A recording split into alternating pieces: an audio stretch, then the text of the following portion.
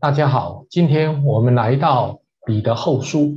彼得后书是使徒彼得所写的，写作的时间大概在主后的六十七年，也就是他快殉道之前。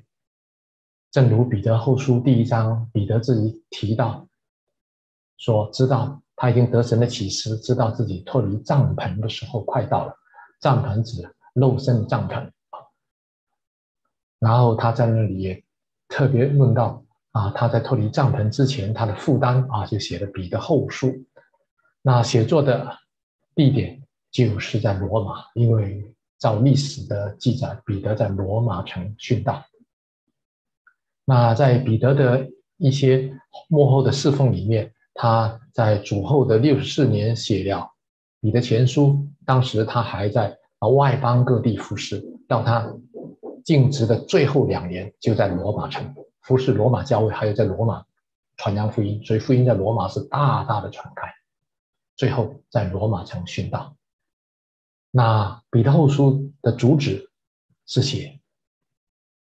神把他的有关金钱和生命的事启示给我们，彼得要我们在这个追求金钱和生命的事上分外的殷勤，啊，得着全备的装备，然后得丰富进入神的国，并且在耶稣基督的恩典和知识上有长进，防范异端，啊，警醒预备迎接主回来。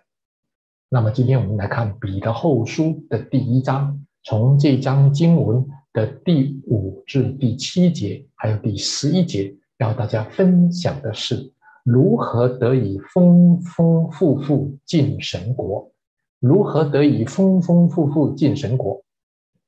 我们先来看第五至第七节，正因这缘故，你们是分外的因群，有了信心，又要加上德行；有了德行，又要加上自私。有了自私，又要加上节制；有了节制，又要加上忍耐；有了忍耐，又要加上前进；有了前进，要加上爱弟兄的心；有了爱弟兄的心，要加上爱众人的心。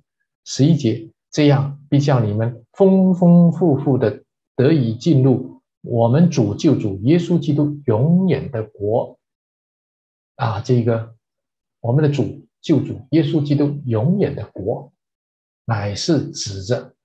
耶稣基督再来的时候，他德国降临的时候，在地上建立了一千年荣耀的国度。那么彼得在这里特别提到，他说：“这样一叫你们得以丰丰富富的进入这个国，啊，能够丰富的进入这个国，就是与主同住王一千年的赏赐。那么如何能够丰丰富富进神国呢？那么在前面的五至七节就很清楚告诉我们，正因这缘故。”你们要分外的殷勤，这缘故就是神早就把有关生命和金钱的应许赐给我们，因为我们有份于神的性情啊，有份于神的应许，神的性情是以是神的儿女，所以我们需要这个丰丰富富进神国。我们需要追求的是什么呢？他在第五节告诉我们：你们要分外的殷勤。有了信心，又要加上德行。我们每一个人信耶稣，成为基督徒，入门的开始是先有什么？有信心。有了信心，才有其他的。所以呢，我们是因信得救，因信称义，因信与神和好，因信站在恩典中，因信领受神的圣名和生命。而这个有了信心，这个有信心从何而来？就是若不是被圣灵感动，没有人会认耶稣是主。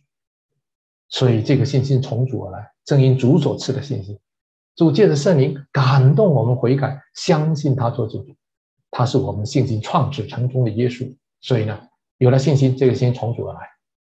那么得救之有了信心是够了吗？不够，这个信心只只不过是个起点。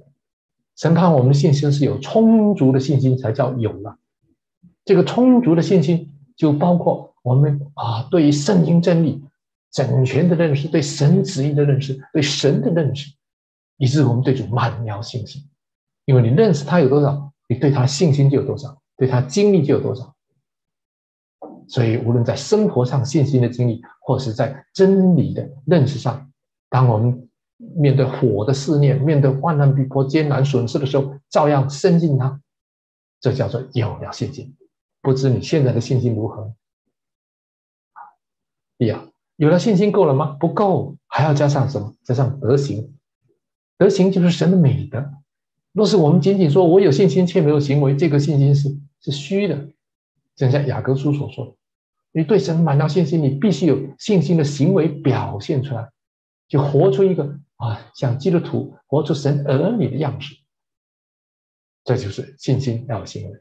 所以我们要查看自己，我现在会不会落在老比较教会时代的光景是，外面富足，里面贫穷，在主眼中看是赤身露体，好像没有穿衣服，意思就是没有圣徒所行的意义，还没有光明洁白的细麻衣，没有活出主的样式。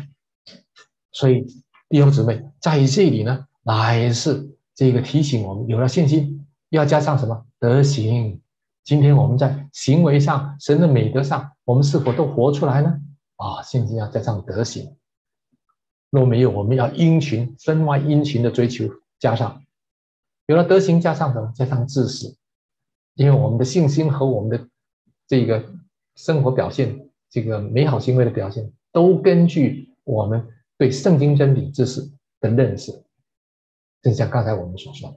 所以，若是我们把基督的道理丰丰富富啊存在心里，我们不断追求，像保罗说：“我不是以为自己已经得到，乃是竭力的追求，不断追求认识圣经真理。”我们的心思就会更新而变化，我们的人生观、价值观就会改变，然后就会影响我们的处事为人啊。所以，有了德行，要加上知识；有了知识，要加上节制啊。节制是圣灵所结的果子。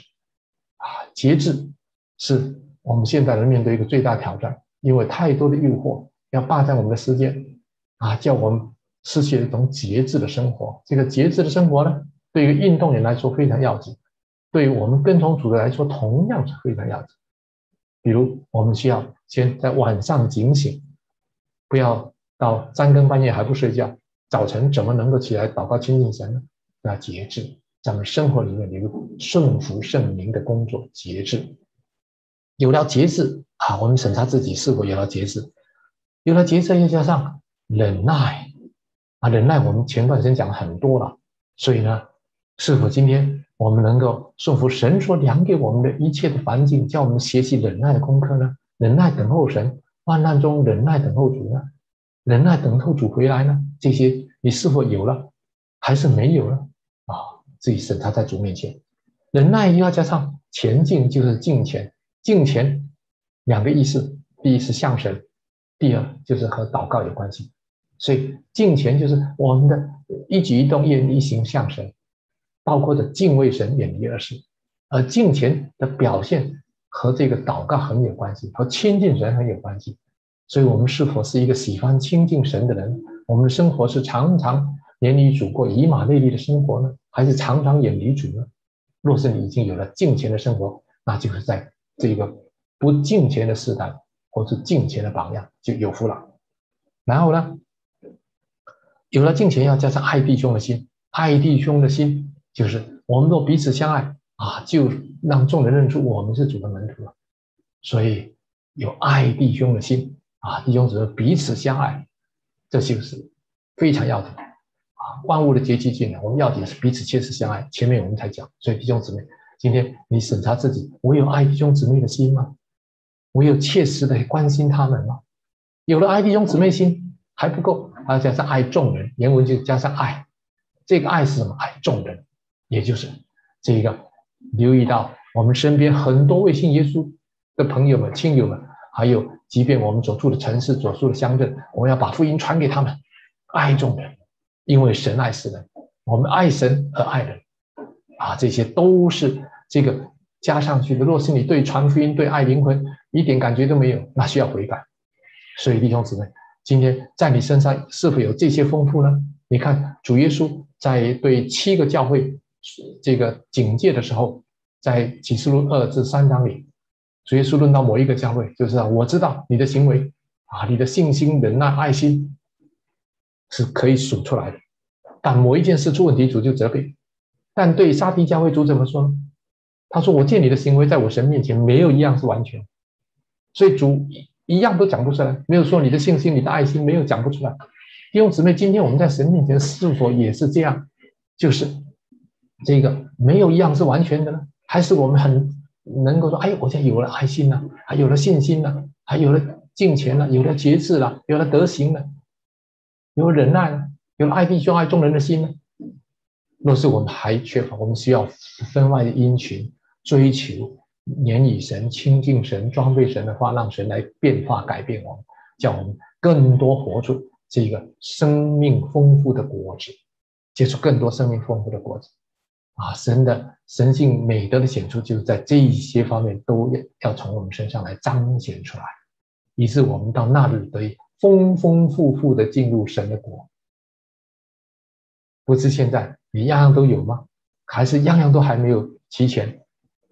还是有的有，有的没有，但我们都在主面前以同心追求，但愿那日我们都能够丰丰富富的进入神的国。